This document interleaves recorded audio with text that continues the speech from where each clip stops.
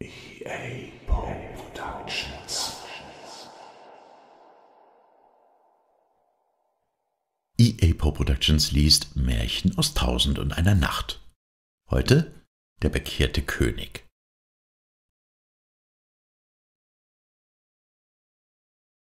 Man erzählt noch, ein gewisser König reiste einst verkleidet in seinem Reich umher und kam durstig in einem großen Dorf an. Da blieb er vor der Tür eines Hauses stehen und forderte Wasser. Eine sehr schöne Frau kam aus dem Haus mit einem Becher voll Wasser und überreichte ihn ihm. Während der König getrunken hatte, betrachtete er die Frau und fand sie so reizend, dass er ihr Liebeserklärungen machte. Die Frau, die ihn wohl kannte, nahm ihn mit ins Haus, hieß ihn sitzen, legte ihm ein Buch vor und sagte Unterhalte dich einstweilen damit, ich muss nur schnell etwas besorgen, dann komme ich wieder. Der König setzte sich und fing an, in dem Buch zu lesen. Es enthielt Warnungen gegen Ehebruch und die Strafen, die Gott über den Ehebrecher verhängt. Da überfiel ihn ein Schaudern und er beschloss, sich zu bekehren. Er rief sogleich die Frau, gab ihr das Buch und ging fort. Als der Gatte dieser Frau nach Hause kam, erzählte sie ihm das Vorgefallene. Er war sehr verlegen und fürchtete sich, der König möchte doch noch nach ihr gelüsten und wagte es nicht mehr, von jenem Augenblicke an sie zu berühren. Nach einiger Zeit erzählte die Frau ihren Verwandten, dass ihr Gatte nicht mehr seine Pflichten gegen sie erfülle. Da führten sie ihn zum König und sagten, Gott verherrliche unseren König, hier ist ein Mann, der ein Stück Land von uns gepachtet hat, um es anzubauen und zu besäen, und das hat er auch einige Zeit getan, nun aber lässt er es brach liegen. Er besäet es nicht mehr, und doch gibt er es uns nicht zurück, dass wir es durch einen anderen besäen lassen, und so fürchten wir, das Land möchte, wenn es nicht bebaut wird, zugrunde gehen. Da sagte der König zu dem Manne, Warum besäst du dein Feld nicht? Der Mann antwortete, Gott erhebe den König. Ich habe gehört, es sei ein Löwe auf das Feld gekommen, den ich so sehr fürchte, dass ich mich meinem Felde nicht mehr zu nähern wage, denn ich weiß wohl, dass ich zu schwach bin, um ihm zu widerstehen. Der König merkte nun, worum es sich handelte, und sagte zu dem Mann, Geh nur und besäe dein vortreffliches Feld wieder. Der Löwe wird es nie mehr betreten und dir nie was zuleide tun. Gott segne dich. Sodann ließ er noch für ihn und seine Gattin kostbare Geschenke herbeiholen und entließ sie damit. Abu Bekr, der Sohn Mohammeds, erzählt, ich reiste einst von Amba nach Amorincie in Griechenland und stieg in der Nähe der Stadt vor einem Kloster, das am Wege lag, ab. Der Prior des Klosters, welcher Diener des Messias hieß, kam mir entgegen und führte mich ins Kloster, das vierzig Klosterbrüder bewohnten, und ich wurde von ihnen sehr gastfreundlich bewirtet. Auch sah ich bei ihnen eine Frömmigkeit, die ich noch nie gefunden. Nachdem ich meine Geschäfte in Amorigie versehen hatte, kehrte ich nach Anbar zurück. Ein Jahr darauf pilgerte ich nach Mekka, und als ich am Festtag den Kreis um den Tempel machte, sah ich den Prior, Diener des Messias, auch um den Tempel ziehen mit fünf seiner Klosterbrüder. Nachdem ich mich überzeugt hatte, dass er es war, ging ich auf ihn zu und fragte ihn, Bist du nicht der Prior, Diener des Messias? Er antwortete, Nein, ich heiße jetzt Diener Gottes, der Einsiedler. Dann küsste ich seinen Bart und weinte. Dann ergriff ich seine Hand und bat ihn mir zu sagen, warum er Muselmann geworden. Er antwortete, die Ursache meiner Bekehrung ist wunderbar. Einst reisten nämlich einige fromme Muselmänner durch den Flecken, neben welchen unser Kloster liegt, und schickten einen Jüngling, der bei ihnen war, um Speisen einzukaufen. Da sah der Jüngling eine junge Christin auf dem Markt, welche Brot verkaufte, und fand sie so schön, dass er sich in sie verliebte und vor heftiger Leidenschaft ohnmächtig dahinsank.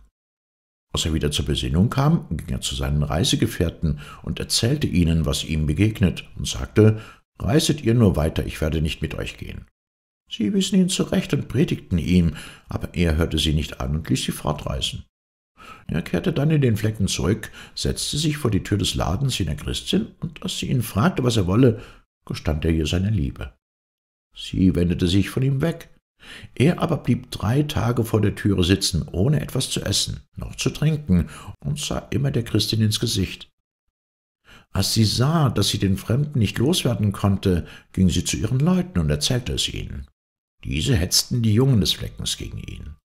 Sie warfen mit Steinen nach ihm, die ihm fast die Rippen zerschlugen, aber dennoch wich der Fremde nicht von der Stelle. Schon hatten die Einwohner des Fleckens beschlossen, ihn zu töten, als mir Kunde davon wurde. Ich ging sogleich zu ihm und fand ihn auf der Erde hingestreckt. Ich wischte das Blut von seinem Gesicht ab, trug ihn ins Kloster und pflegte seine Wunden vierzehn Tage lang. Sobald er dann wieder imstande war zu gehen, verließ er das Kloster und setzte sich wieder vor die Tür des Bäckerladens, um die schöne Christin anzusehen.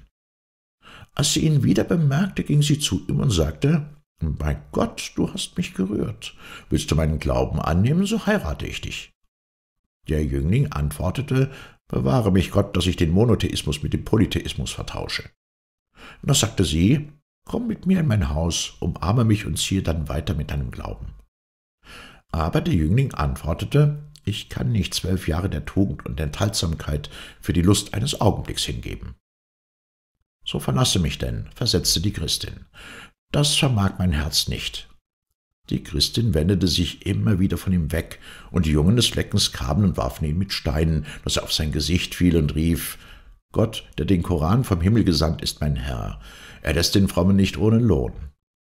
Als ich den Lärm hörte, lief ich wieder aus dem Kloster zu dem Jüngling, jagte die Buben fort und hob ihn von der Erde auf. Da hörte ich, wie er sagte, O Gott, vereinige mich mit ihr im Paradies. Ich wollte ihn dann ins Kloster tragen, aber er starb, ehe er es erreichte. Da ließ ich vor dem Flecken ein Grab bauen und beerdigte ihn dort. Um Mitternacht hörte man auf einmal die Christin so laut schreien in ihrem Bett, dass alle Bewohner des Fleckens sich zu ihr drängten, um zu hören, was ihr zugekommen.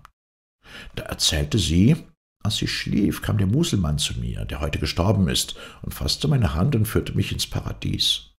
Als ich aber an die Pforte des Paradieses kam, ließ mich der Wächter nicht hinein, indem er sagte, das Paradies bleibt den Abtrünnigen verschlossen. Da bekehrte ich mich wieder zum Islamismus und ging mit ihm hinein. Hier sah ich Paläste und Gärten so schön, dass ich sie euch nicht beschreiben kann.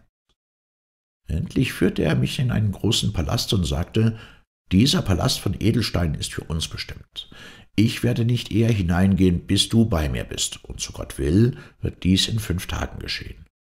Dann streckte er die Hand nach einem Baume aus, der vor der Tür des Palastes stand, pflückte zwei Äpfel von demselben und sagte, Iss den einen und bewahre den anderen für den Prior des Klosters auf.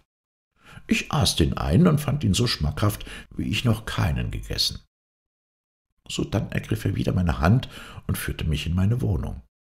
Ich nahm dann, so fuhr der Diener Gottes fort, den einen Apfel aus ihrer Tasche und er leuchtete in der dunklen Hand wie ein Stern. Es war eine Frucht, wie man keine ähnlich auf dieser Welt sieht. Ich nahm ein Messer und zerschnitt ihn in so viele Teile, dass jeder meiner Gefährten im Kloster ein Stück davon bekam. Und wir haben nie einen feineren Geschmack noch einen edleren Geruch gefunden, als dieser Apfel hatte. Wir dachten, das ist gewiss Satans Werk, der sie von ihrem Glauben abtrünnig machen will. Die Verwandten der Christin führten sie dann nach Hause, aber sie wollte weder Speise noch Trank zu sich nehmen. Bis in der fünften Nacht. Da stand sie auf, ging auf das Grab des Jünglings, warf sich dorthin und starb, ohne dass ihre Leute etwas davon wussten. Am folgenden Morgen kamen zwei alte Muselmänner in den Flecken mit herrenen Kleidern auch zwei alte Frauen waren bei ihnen, ebenso gekleidet und sagten, O ihr Bewohner des Fleckens, Gott der Erhabene hat eine seiner Heiligen unter euch als Muselmännin sterben lassen. Wir kommen, um sie als solche zu beerdigen. Aber die Bewohner des Fleckens, welche nach langem Suchen endlich die Christin tot auf dem Grab des Muselmanns fanden, sagten, die gehört uns, sie ist in unserem Glauben gestorben und wir wollen sie beerdigen. Die Alten behaupteten hingegen, sie sei als Muselmännin gestorben. Nach langem Streit sagte endlich einer der Alten, Wollt ihr euch überzeugen, dass sie als Muselmännin gestorben, so lasset alle vierzig Priester aus dem Kloster kommen, um sie vom Grab wegzubringen. Vermögen sie es nun, so gebe ich zu, dass sie als Christin beerdigt werde. Bringen sie sie aber nicht von der Stelle, dann möge einer von uns es versuchen, sie wegzuziehen, und gelingt es ihm, so dient es als Beweis, dass sie als Muselmännin gestorben. Die Bewohner des Fleckens waren mit dieser Probe zufrieden und ließen sogleich die vierzig Klosterbrüder kommen, um sie wegzutragen. Aber sie konnten es nicht. Zwar nahmen sie ein sehr starkes Seil und banden es um ihren Körper und zogen mit aller Kraft daran, aber das Seil zerriss. Zuletzt versuchten es sogar noch alle Bewohner des Fleckens, sie wegzutragen. Aber dennoch brachten sie sie nicht von der Stelle. Endlich sagten sie einem der Alten, nun versuche du es, sie wegzutragen. Er näherte sich ihr, fasste ihren Oberrock und sagte, im Namen Gottes des Barmherzigen, des Allmilden, nahm sie auf den Arm und trug sie in eine Höhle dort in der Nähe. Die zwei alten Frauen wuschen sie und hüllten sie in ein Totengewand, beerdigten sie neben dem Grab des Jünglings. Wir alle, fuhr der Diener Gottes fort, sahen dies mit unseren Augen. Als wir daher allein untereinander waren, sagte einer zum anderen, es ist unsere Pflicht, die Wahrheit anzuerkennen, die sich uns so klar geoffenbart hat. Wie können wir einen sichereren Beweis für die Echtheit des islamitischen Glaubens fordern, als den, den wir mit eigenen Augen gesehen? Ich bekehrte mich daher zum Islamismus mit allen Priestern des Klosters und allen Einwohnern des Fleckens. Wir schickten dann nach Jezireh und ließen um einen frommen Lehrer bitten, der uns mit den Grundsätzen des Islams und der Art und Weise des Gottesdienstes bekannt machte. Und so leben wir nun im schönsten Segen. Gott sei gelobt und gepriesen.